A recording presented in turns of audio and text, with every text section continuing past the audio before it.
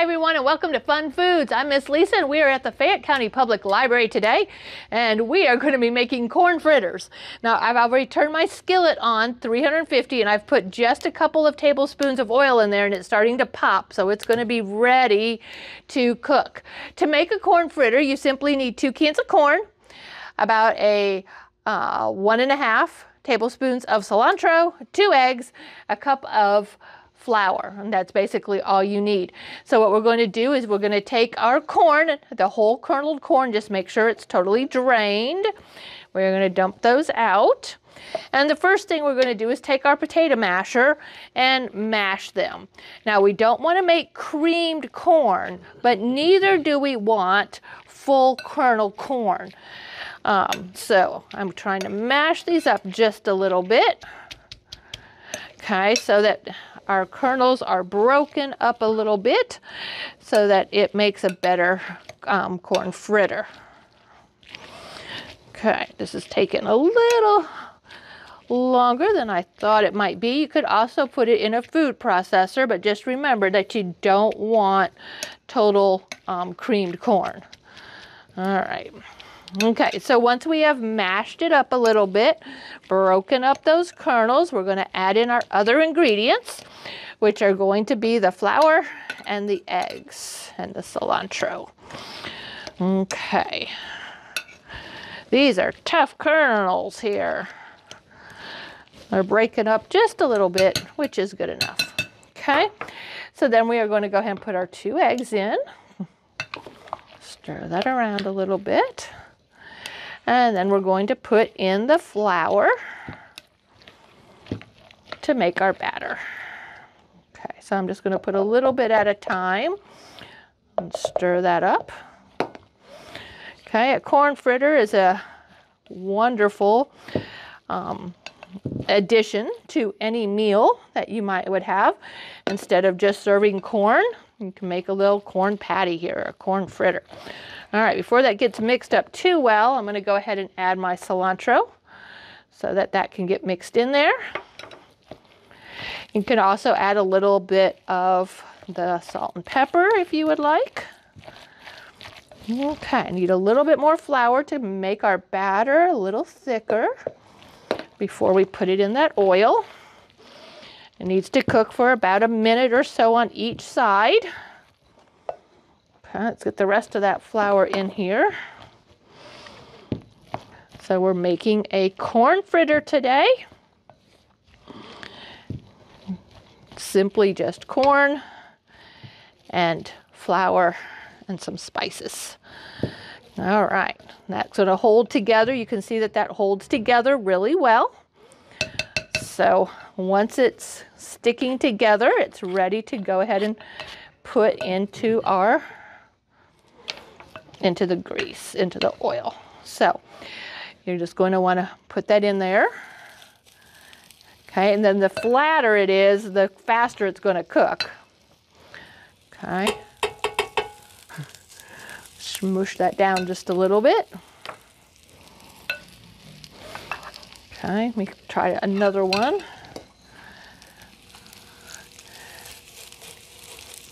Okay, and so while these are cooking, you can get the rest of your meal ready. I'm trying to flatten them down a little bit so that it cooks all the way through.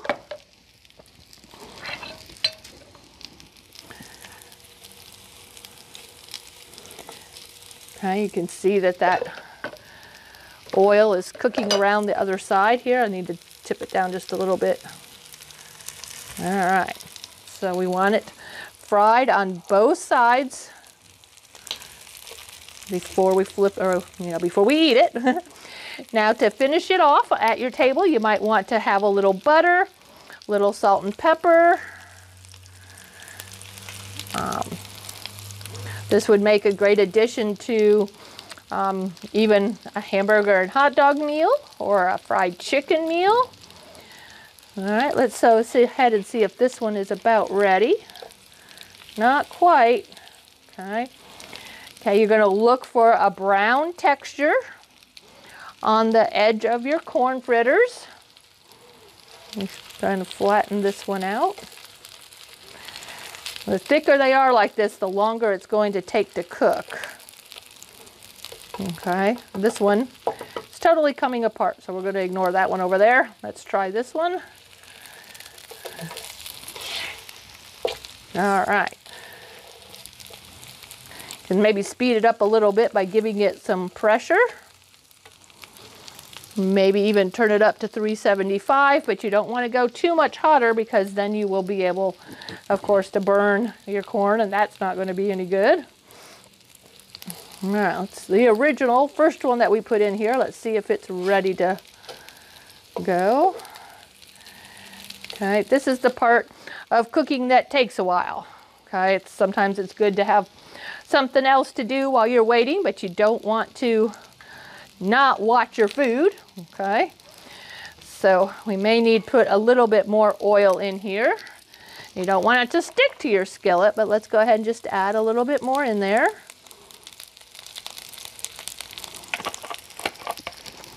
Okay, that looks pretty good. Let's go ahead and flip this one back. Ouch. All right, this one might be really about ready. Let's try this one again. Okay, now you can see this one is starting to get that brown texture on the outside edge throughout the middle there. This one as well. Okay, this is what you're after, is a, a browning of your corn and your batter. That side just not wanting to brown, is it? All right, this one is about ready, I think.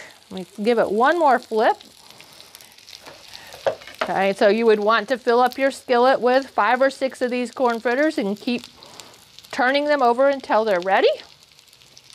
And then dish them up on a plate for your family to try to eat. All right. And have little corn nuggets here, it looks like. Came apart a little bit might want to add a little bit of milk in your batter to give it a little bit more consistency. Okay, I think this one is really ready. Whew, got inside that grease there. Okay, so when you take it out, to finish it off, you might want to come and get a little pat of butter. Okay, put that up there. Corn is always good with butter on it and then sprinkle just a little bit of salt and a little bit of the pepper on there and you are ready to eat. My pepper's not coming out. All right, uh, wherever it is. And there you have it, folks. You have a wonderful corn fritter. And that is what I've made today. All right, folks, I'm Miss Lisa. And we are here at the Fayette County Public Library, and this has been a fun food. It's one that might take a little longer than others, but when you're done, you have a very yummy corn fritter. Thanks for watching. Come see me again in two weeks, and we'll have another food recipe for you. Bye now.